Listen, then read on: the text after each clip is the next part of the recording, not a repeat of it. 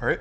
Uh, hello, everybody. Uh, thank you for coming today. Uh, my name is Isaiah Stapleton. Uh, I'm Associate Software Engineer on the Red Hat Research Team. Um, I'm very excited to be talking to you today about open education in the New England uh, Research Cloud. Um, I've been working at Red Hat a little over a year now, full time. So this is my first time giving a talk at a conference. So I'm very excited that you guys are uh, here with me today. Um, so what are we going to be talking about today? Um, first, I'm going to introduce what the Open Education Project actually is, um, and then what the New England Research Cloud is. Um, some big milestones we've had for the project, um, some new changes and improvements we've made to OPE, um, and then we'll talk about some future work, uh, how you can actually contribute to this project, because of course it is open source, and then we'll conclude the presentation and we'll go into a Q&A.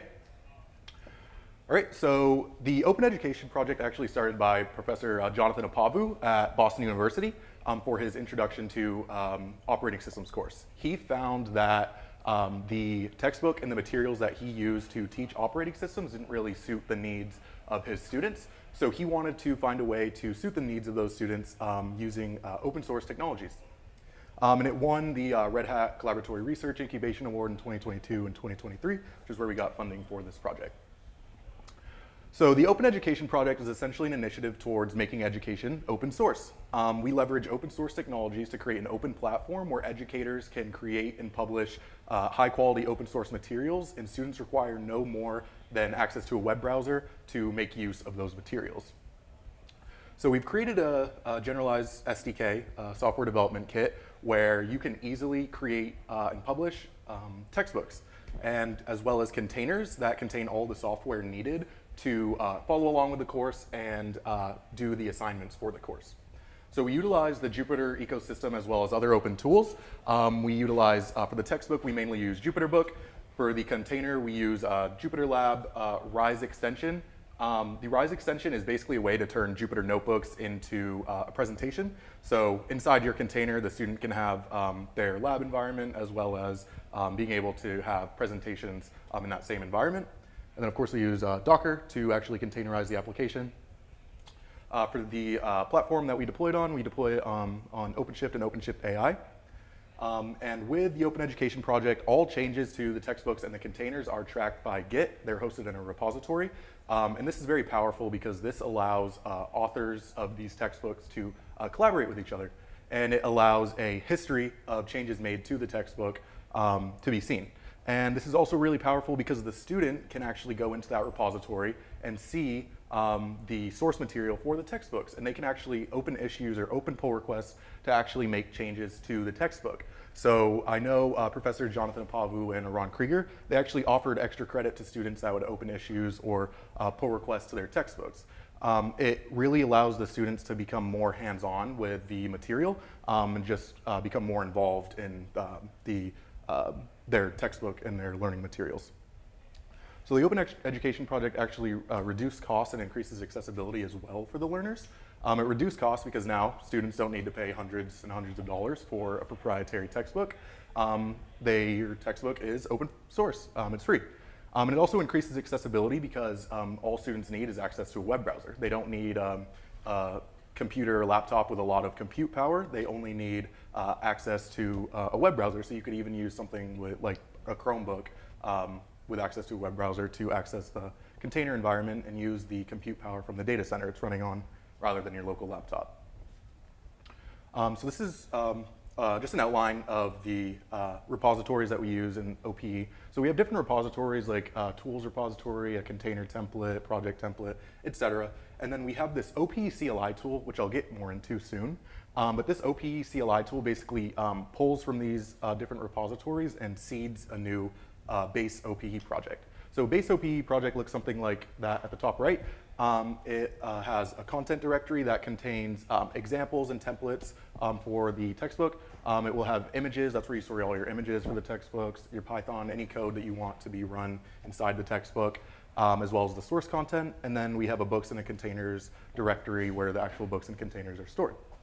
And then the OP project repository at the bottom right is just our um, main repository that serves as an example of like what an OP project is. So we have a few books in there. We have a user guide. Um, the user guide is for people that are interested in using OP. Um, and we have a test book. I'll talk a little bit about that more soon. Um, we also have a contributor guide for those looking to contribute to uh, the OP project. Um, and we also have an authoring and uh, test containers. Um, so this is an example of, uh, so like I said, Jonathan Appavoo, um, this kind of started because of his um, introduction to um, operating systems course, and this was his textbook that he made using JupyterBook. Um, so we're able to leverage JupyterBook to really create these really rich textbook environments. We can have code that can be run inline um, in the textbook. We can have multiple choice questions at the end of every section where students get immediate feedback for their answers.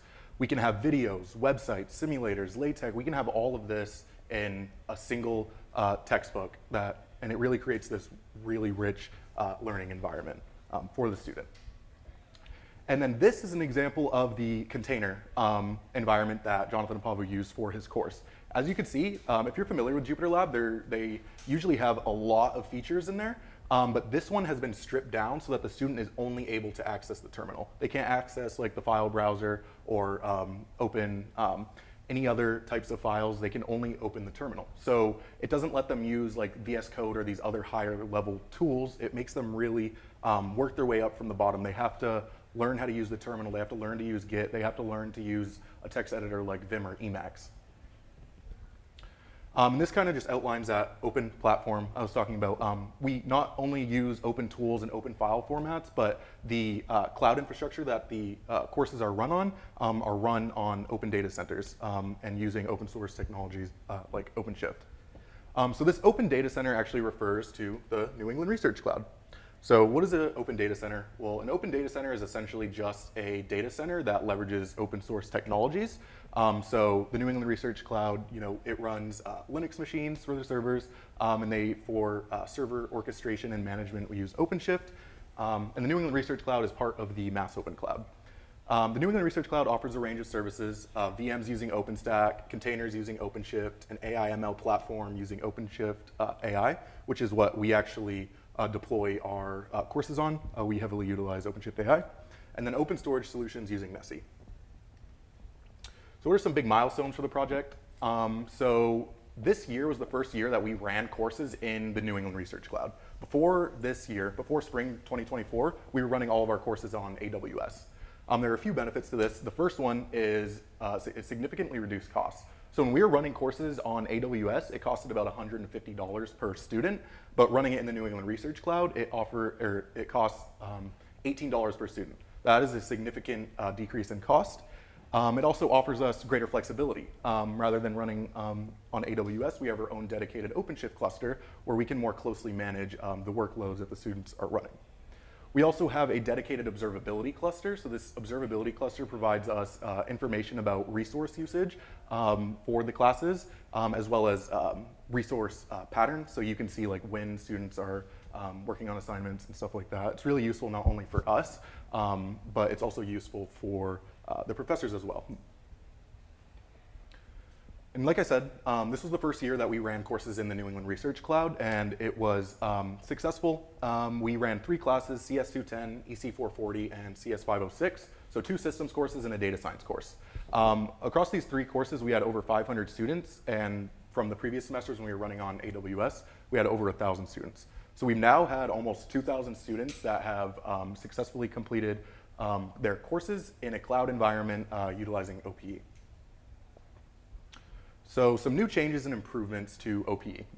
Um, we now have a CI/CD pipeline, so we utilize uh, GitHub Actions for the CI/CD pipeline. So for the uh, container repository, if there's any changes made to that repository, any new code pushed in, it activates this GitHub workflow. This GitHub workflow builds the container and then runs different tests on that container. Um, it'll test for to make sure certain, uh, certain Jupyter packages are the correct version, uh, the UI is displaying correctly, certain Jupyter extensions are working as intended, um, and then after, uh, and more, and then after all the tests are run, um, it, if it passes, it gets pushed to a container registry. Uh, the container registry we use is Quay.io. So we have a CI/CD pipeline. We can test the container functionality, but we also need to make sure that that container works in the New England Research Cloud. Because you know when we you, when you use GitHub Actions to build the container, it builds it in um, their own cloud instance. Uh, but we need to make sure that actually works in the New England Research Cloud. So after it's been pushed to Quay.io, we then run that container in the New England Research Cloud and we test for certain things. So this is where that test book that I mentioned before, we run this test book and it tests for, um, to make sure the user ID, for example, is within an acceptable range for that cluster. Same for the group ID, make sure certain group permissions are um, correct, um, make sure that networking within the container is working in the cluster, um, students can access the internet. Um, and then there's also specific tests for like specific classes. So like for the operating systems course, one test that was important for them is to make sure the container can make the appropriate system calls to do, uh, to uh, disable address space randomization when using GDB. Um, that's something that's important for a systems course. Um, and so that was just a test that was specific to that course. So when you use the OPCLI tool and you make a new project, you get uh, this test book and you can expand upon it or remove as needed for your specific use case. Uh, we also have tests for scalability. So we have uh, scalability tests that can start up a large number of pods, containers. Um, when I say pods or containers, I'm talking about the same thing. So when we have a test that can start up a large number of pods, um, and we can see if there's any latency issues. Uh, when we were running these courses on AWS, we ran into um, issues where if a large number of students tried to start their containers at the same time, it would lead to delays of up to 20 minutes. Um, in the New England Research Cloud, we do not have any delays. We can start up hundreds of pods and we can have like no latency issues at all. Uh, another big thing was uh, reduce container image size uh, utilizing Docker multi-stage builds. Um, so the container size originally for the base OP image was a little over 10 gigabytes, and now we have gotten it down to two to three gigabytes. This is really important because you know when a student starts up this container, it needs to build a container, and if it's very large, like 10 plus gigabytes, it can take much longer to build a container. Getting it down to two or three gigabytes makes it very easy for a student to just start a pod, um, and it gets built very quickly. We also have this customized image make target. I'll talk a little bit more about that in a few slides, but essentially what it does is it, take, it takes an image that has already been built and customizes it, for, uh, changes some environment variables so that it can be deployed in a different environment. Um, we also have a cron job to shut down idle notebooks as well. So this kind of serves two purposes. So this was a feature requested by the professor, uh, professors um, specifically because they want students to utilize Git. So they want students to make small incremental commits to their repositories rather than like one large commit the day before the assignment is due. So the professors can kind of see their um, start to finish for their project and not just all the work at the end. So, you know, we have this cron job that will shut down pods after a certain amount of time. So if a student works on something and they don't push their code, it gets deleted. They need to get used to pushing code uh, frequently. Um, and all, the other purpose it serves is it uh, reduces uh, resource usage, you know, we don't want a ton of pods just sitting, not shut down, just taking resources and driving up the cost for the course. Um, and then we also have some mutating and validating webhooks, which I will talk more about in a few slides. Um, so we also have some usability tools. So I mentioned the OP-CLI tool for you. The, using the OP-CLI tool, you can very easily create uh, a new OPE project. You can add containers to it. You can add textbooks to it. You can build your textbooks. You can build your containers, and you can publish your containers and your textbooks. You can do all this from the OP-CLI tool. Um, and we originally used Make for that, but there was an intern, uh, Key Lee, who actually worked on this OP-CLI tool, so you don't have to interface with Make. You can just um, get this OP CLI tool and use it that way. We also have an auto grader. So this auto grader runs in the same environment that the students are running their containers um, and is essentially a Flask uh, web um, application or web server. And the students can make a pull or uh, they can make a post request to the web server um, with the submission of their homework. So they can um, submit their homework to this auto grader. It will send them back their um, results and then it will also send it to Gradescope so that the professors, the TAs can see the results of uh, the students' submissions. Um, so like I said, uh, this is just showing the OPE CLI tool. You can do all of these um, things um, just with the CLI. And then this just shows um, kind of the architecture for the auto grader, but basically the auto grader is running in the same environment as the students are running uh, their containers in, and it will send uh, the results to Gradescope so the professors and TAs can see. And so what are some challenges that we have had? Um, so separations of notebooks in the same namespace. So originally each class was running their own data science project. A data science project is a feature of Red Hat OpenShift AI where you are able to run your AI ML workloads and your containers. Um, so originally we were gonna do that because it's each data science project is like its own namespace. So it's like we wanted each class to be in their own namespace essentially. But the issue with this is using data science projects, um, students can access all notebook instances within that namespace. So you can see here, like in a data science project, you can see all the containers running. Um, if you were a student, you'd be able to go into somebody else's container and see the work that they're doing and just copy them. Obviously, we don't want that. So what we did instead is we switched to using the RHODS Notebooks namespace, all the classes running in one namespace. Um, this is an older feature of uh, Red Hat OpenShift AI, um, but essentially students can just select what image they want, um, the container size, as well as if they need a GPU, um, and start the image up that way. But like, how do we identify which users belong to which classes if everybody's running in the same namespace? And how do we ensure that the students are using the right image and the right resource sizes um, if they can just select whatever they want? Well, for identifying which users belong to which classes, we use a mutating webhook, and for ensuring the students are running the right uh, images and resources, we use a validating webhook. So when a student requests to create their uh, container or their pod, it runs through these different stages. When it gets to the mutating admission stage, um, we have a mutating webhook that is also a Flask web server that intercepts the request for the pod to be created, and it checks to see if the user um, so actually before this runs, we have a script that we run at the beginning of the semester to add the users um, to the respective OpenShift group that pertains to their class. So like an EC440 student will be in the EC440 group. So this webhook, this mutating webhook will basically check to see if that user is in any of those groups. If they are, it will just add a label to that pod, class equals EC440, for example. Then when you get to the validating admission stage, we have a validating webhook that is, we use a Gatekeeper for this. It will basically check that class label. If a user is in EC440, then it will say you have to have this image, the EC440 image, extra small resource size, and you're not allowed a GPU.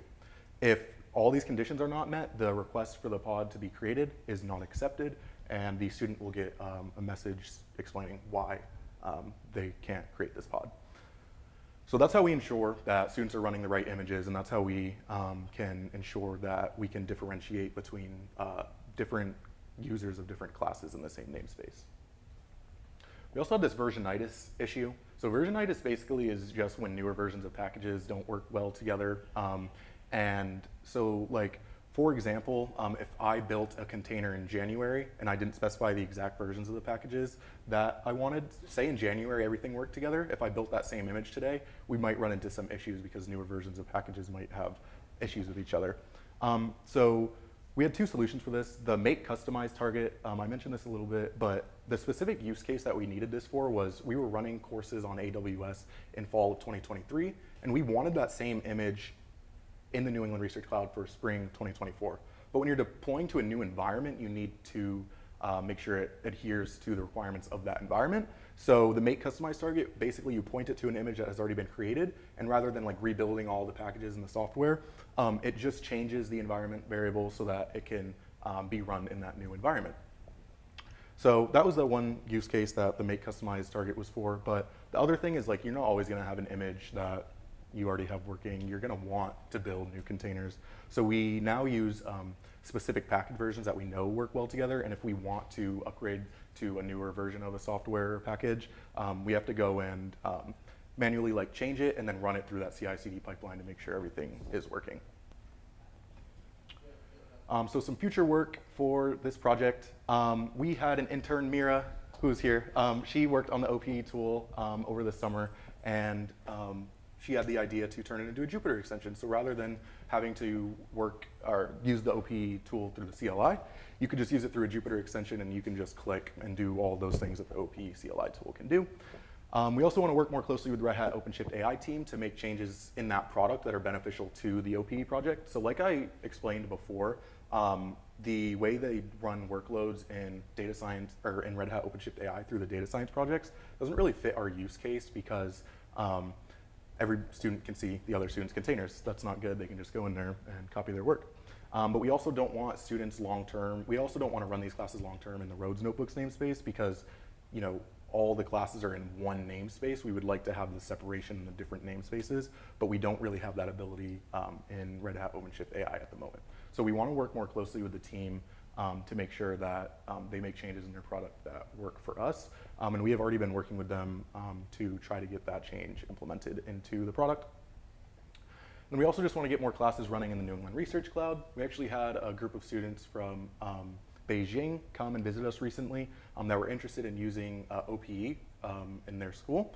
And they uh, they were very interested and they went back and were talking to their professors. Um, so we might get um, some people over there that are interested in using OPE um, and running their classes that way.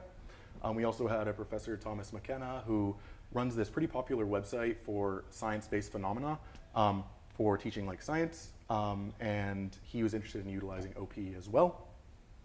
So um, yeah, we just want to get more people, um, more classes running in the New England Research Cloud. We want to get more contributors um, working on.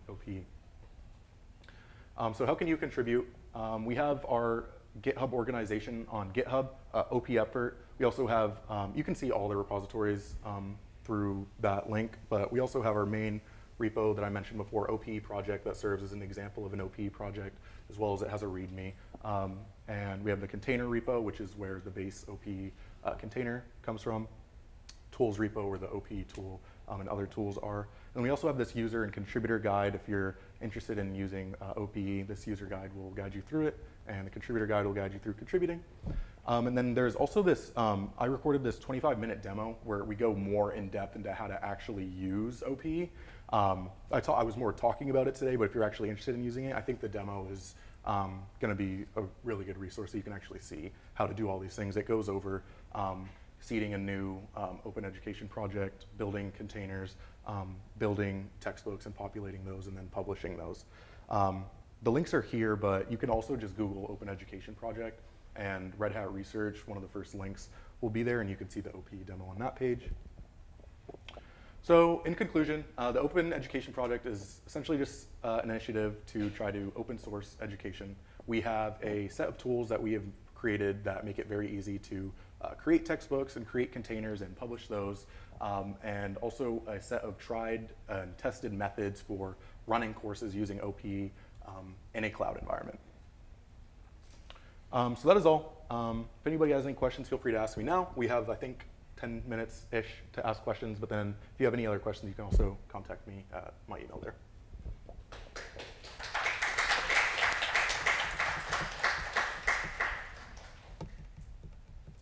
Yes, Mira.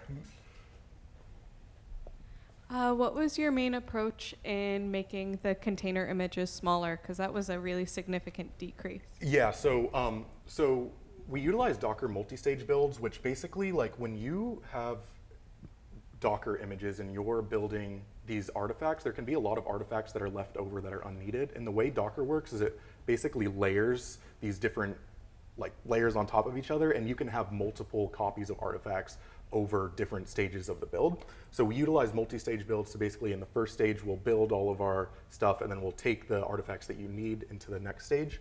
Um, and a tool I used um, for seeing these artifacts that are left over um, between these different layers was this tool called Docker Dive, um, which lets you jump into a container um, that has already been built and see um, in each layer like what artifacts are there and how many like copies of it is there, there is. So I had to, that, that was the main tool that helped me a lot to kind of figure out which artifacts are being duplicated and yeah.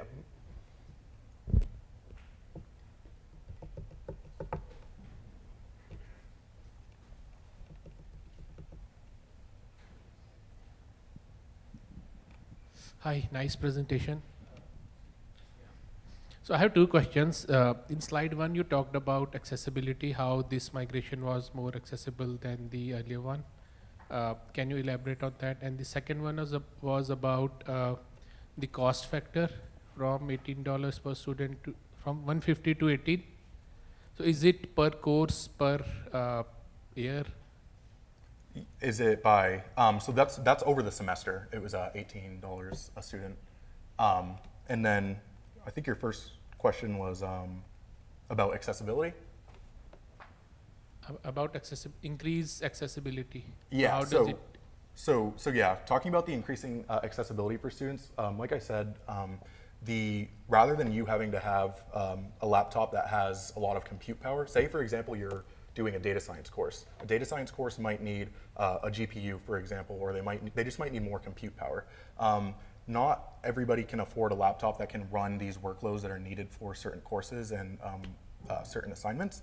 Um, so rather than you know having to have a expensive laptop or computer that can do this, um, all they need is access to a laptop that can reach this uh, website that they can just spin up the container and then they can use the uh, compute power of the data center that it's running on rather than the compute power of their own local laptops.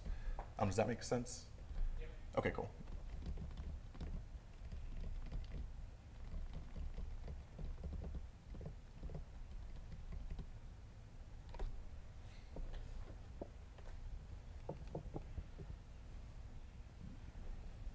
I understand that this project is currently being used in universities, but are there plans to expand it into primary education?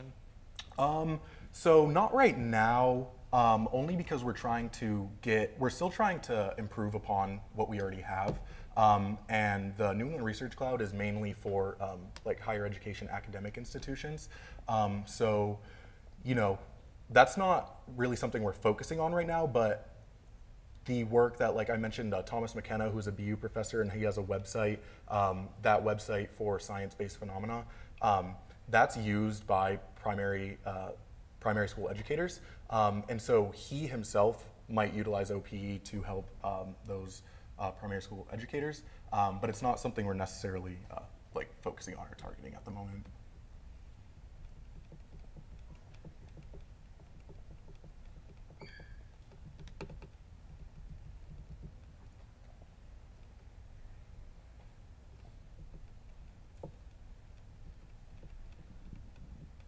So is this program i- has be- is implemented uh, only in certain universities or all universities in?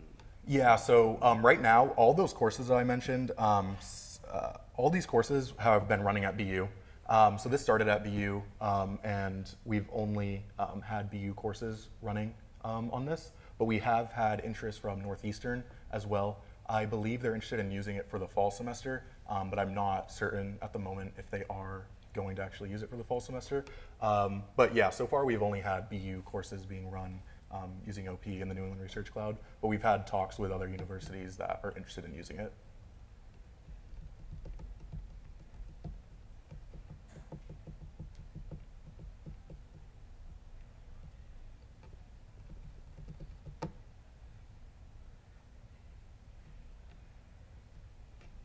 Well, there's no more questions. Thank you everybody for attending today.